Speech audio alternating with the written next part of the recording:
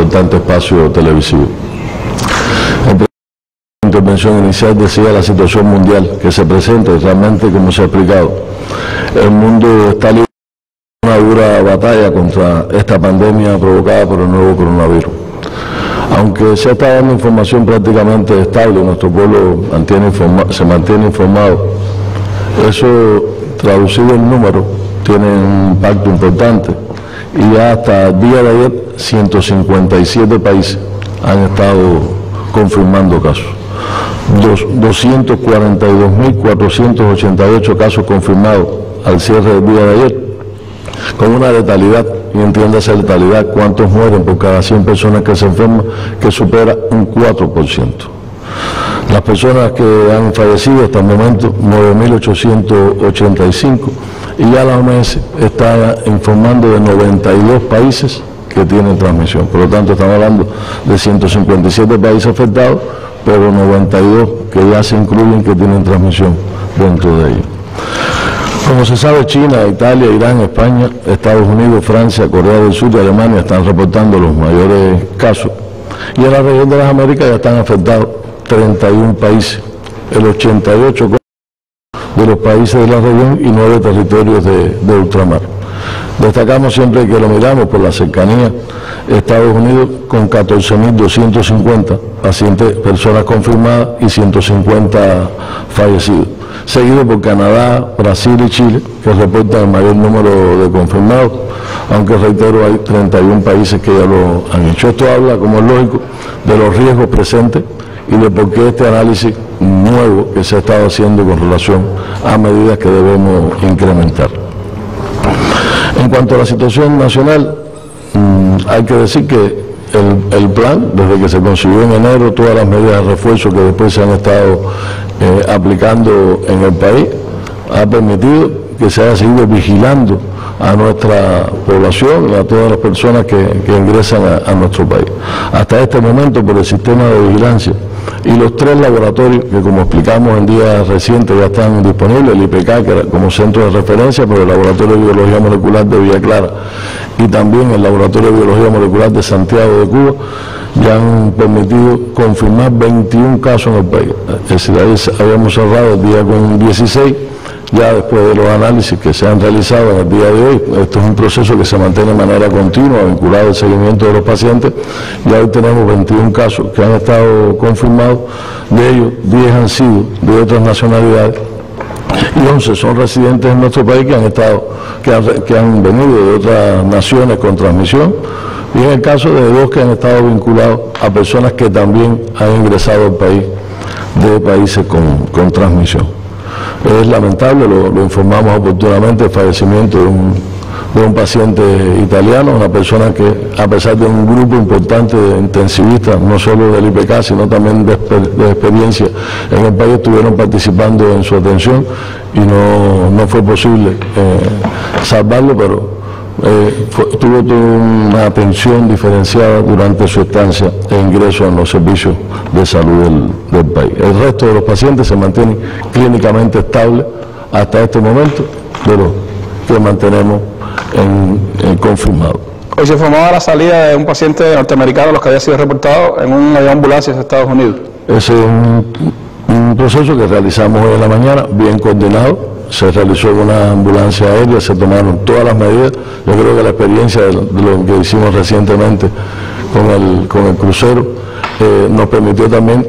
tener ya el camino de cómo proceder ante esto y se hizo coordinadamente entre, entre los dos países y entre el personal médico que aseguró que de manera efectiva pudiera regresar a, su país y eh, también se encontraba eh, clínicamente estable. Hay otras 716 personas que estamos en seguimiento. Hablamos de eso porque, como todos los días estamos informando a la población, es, importante que se entienda que mantenemos una vigilancia estrecha del resto de las personas del país que pueden tener síntomas respiratorios o que pueden haber estado asociados a personas que, regresen, que, que hayan ingresado al país de otras nacionalidades y que puedan tener síntomas. Para nosotros, cualquier caso que esté vinculado a una persona que haya venido de un país en transmisión y tenga síntomas, síntomas respiratorios, un paciente sospechoso, mientras no demostramos lo contrario. Por eso hay un grupo de personas que ingresan en nuestro centro, que en los centros que hemos creado para este fin, personas que van a los centros ya de pacientes donde tenemos pacientes confirmados, otros que mantenemos bajo vigilancia, y ese número de personas lo mantenemos y otras eh, 26 mil mantenemos vigilándola en, en, la comunidad. Y esos son aquellos contactos que menos estrechos, pacientes que, que, están, pero que también son de interés para poder identificarse ante eh, el tiempo transcurrido puedan desarrollar algún síntoma de enfermedad. Como se explicó, no solo estudiamos la enfermedad del COVID o, el, o este nuevo coronavirus, hay otros virus respiratorios que estudiamos en el país, lo hacemos normalmente, el país tiene un buen sistema de vigilancia de las enfermedades transmisibles, el centro, el, Instituto de Medicina Tropical Pedro Curí es el centro rector de esta actividad y normalmente lo hacemos en todas las épocas del año para saber qué es lo que está circulando, por lo tanto no solo el, nuevo coronavirus, sino otros 17 virus que nos mantenemos en, todo, en toda Cuba y que nos ha permitido identificar otros que están circulando en estos momentos, fundamentalmente el virus de la influenza A.